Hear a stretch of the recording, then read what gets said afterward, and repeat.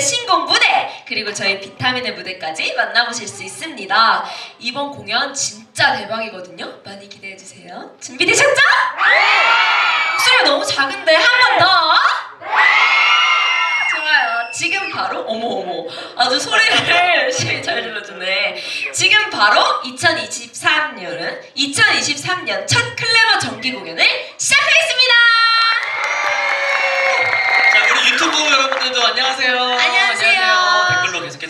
남겨주시고요. 오늘 공연 끝까지 끝까지 봐주시고 좋아요, 구독까지 눌러주세요. 자, 지금부터 바로 시작을 하도록 하겠습니다. 첫 번째 클레버 아카데미와 함께하는 클레버 페스티벌 첫 번째 무대는 어떤 팀이 준비하고 있나요? 대망의 첫 번째 무대를 장식해줄 친구들은 과연 두구두구두구두구두구두구두구두구두구두구두구두구 밀크 캐러멜 팀이 준비하고 있습니다. 밀크 캐러멜 팀이 보여줄 무대는 르세라핌의 곡으로 무대를 준비하였는데요. 이번 무대 제가 개인적으로 매우 기대가 되고 좋아하는 곡이거든요. 여러분들도 저와 같은 마음이시죠?